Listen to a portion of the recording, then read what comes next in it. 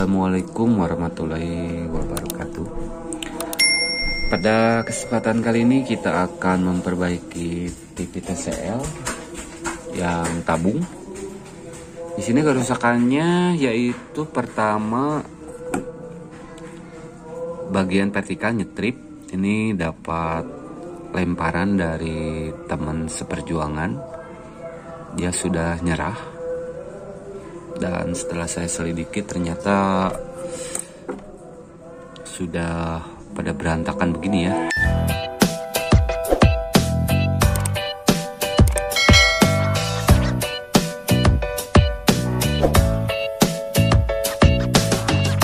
Isinya seperti ini. Kita sudah melakukan pergantian part dari tadi siang Nah TV ini keluhannya sekarang eh, ketika di on kan LED indikator menyala seperti ini. Nah mati. Nah ini seharusnya hidup ya. Untuk TV ini bisa playbacknya bisa nyembur. Dan di sini untuk tegangan yang 8 volt tidak keluar Nah, di sini untuk 8 volt tidak keluar dan juga 5 voltnya juga tidak keluar. Untuk tegangan vertikal 25 volt juga tidak keluar. Nah, kerusakannya seperti ini. Tidak mau nyembur untuk playbacknya. Sudah dicek di bagian out di sini. Nah di sini udah udah on ya. Sudah tegangannya 0,38 volt tapi tidak mau nyembur juga. Kita sudah melakukan pergantian transistor horizontal driver. Di sini tadi udah koslet kita ganti dengan C2238 tapi hasilnya masih tetap sama ya. Dan juga ini untuk transistor horizontal juga sudah diganti tapi tetap sama juga tidak ada perubahan sama sekali ya. Dan untuk selanjutnya kita akan coba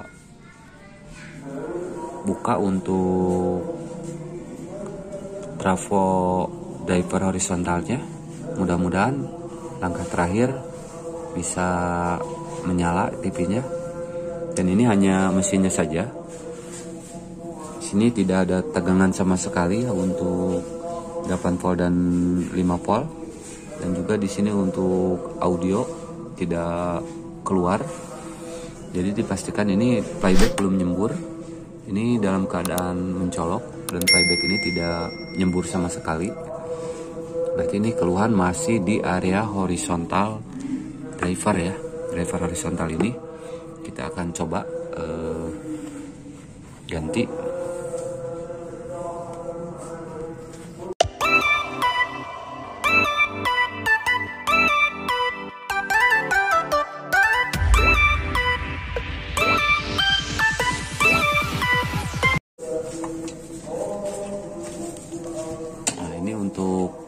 horizontalnya. Kita coba ukur.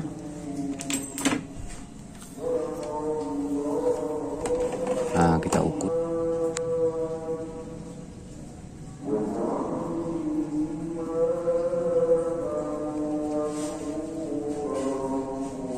Nah ketika diukur ini bagus ya.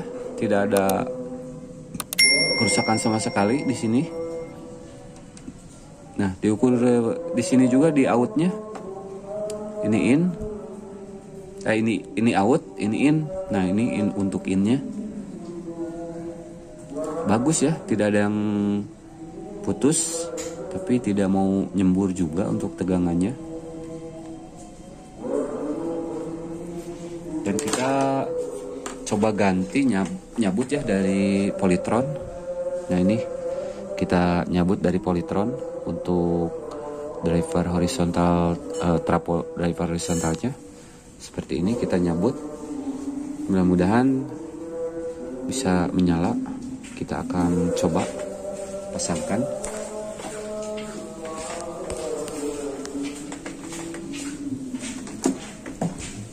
Kita rapikan dulu ya sahabat. Ini yang di atas ini kita rapikan semuanya.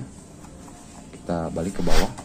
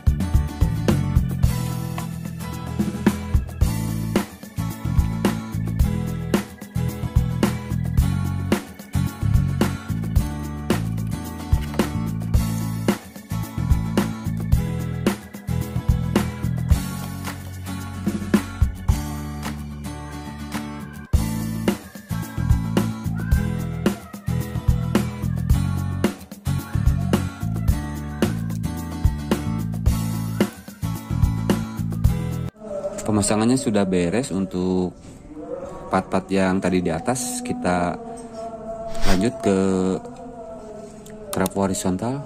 Ini tidak pas jadi kita pasang disesuaikan saja.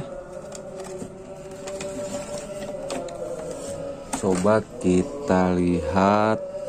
Nah ini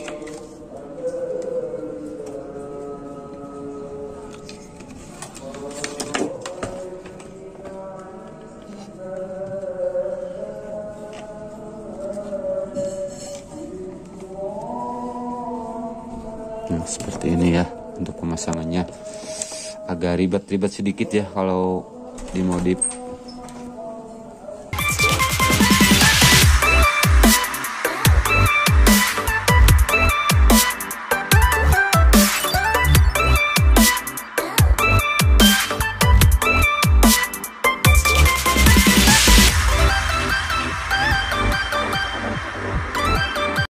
Oke sahabat kita lanjut ini untuk bawaannya dan ini dari cabutan akan coba. Nah ini jangan sampai terbalik ya posisinya yang kabel gede ini untuk out ke transistor horizontal. Dan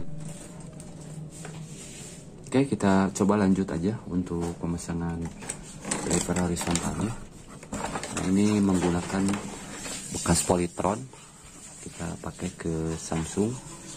Mudah-mudahan bisa berjalan normal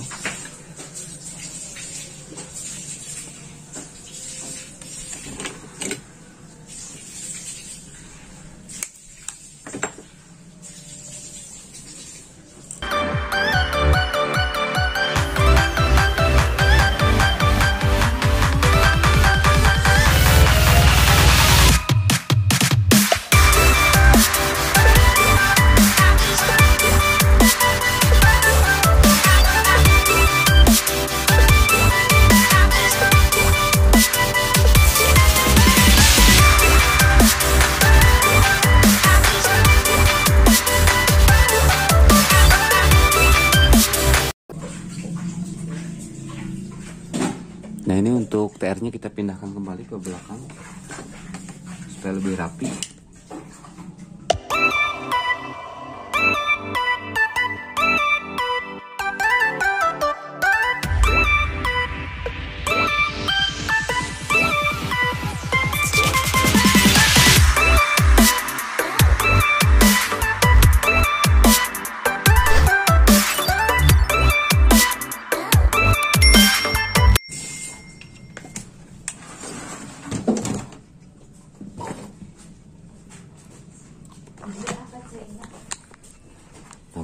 Pemasangannya sudah beres. Kita cek ulang kembali untuk tegangannya. Tadi sebelum kita ganti te, eh, trapo horizontalnya tidak mengeluarkan tegangan sama sekali ya.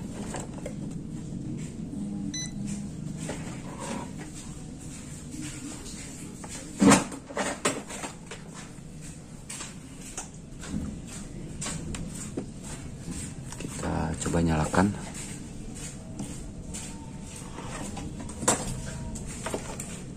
nah, untuk memastikan playback nyembur atau tidaknya kita pakai bekas rokok.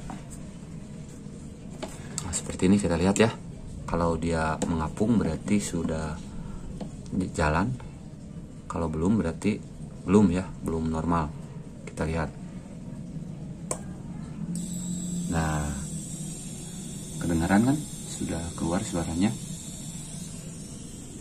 nah kita cek tegangannya.